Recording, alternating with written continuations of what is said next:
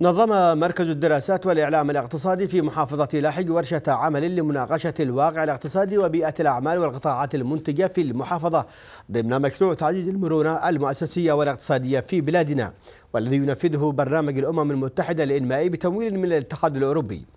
وشارك في الورشة قيادات من السلطة المحلية بالمحافظة والقطاع الخاص ومنظمات عاملة في التمكين الاقتصادي وذلك لمنافسة مخرجات لمناقشة مخرجات الدراسة التشخيصية لتقييم الوضع الاقتصادي وفرص الاستثمار في القطاعات المختلفة لتعزيز النمو الاقتصادي وإيجاد فرص عمل للحد من البطالة والركود الاقتصادي الراهن جراء تأثيرات الحرب.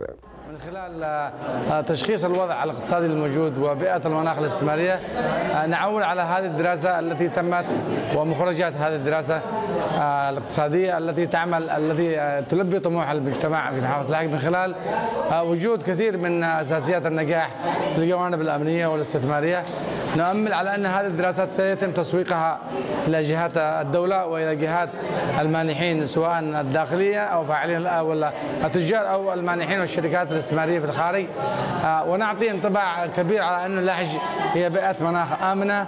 آه، قيادة سلطة محلية وأمنية آه، تعمل على تسهيل كثير من المناخ الاقتصادي وتسهيل إجراءات الاستثمار. لاحق فيها فرص كبيرة جدا. سوف تظهر من خلال مخرجات هذه الورشة لكن هي بحاجة لمن يتدخل فيها وخاصة قطاع المال والأعمال. قطاع المال والأعمال كبير وكثيرين يعني من يشتغلون في هذا الجانب محافظة اللحم. لكن فعالية الأداء ضعيفة حتى الآن. لا يتناسب وما هو مطلوب من تحديات في محافظة اللحم. السلطة المحلية تعمل بجد وتحاول أن تخلق فرص كثيرة للانتقال بالاقتصاد إلى مرحلة أخرى آه، والخروج من حالة التعافي والطوارئ إلى مرحلة التنمية المستدامة.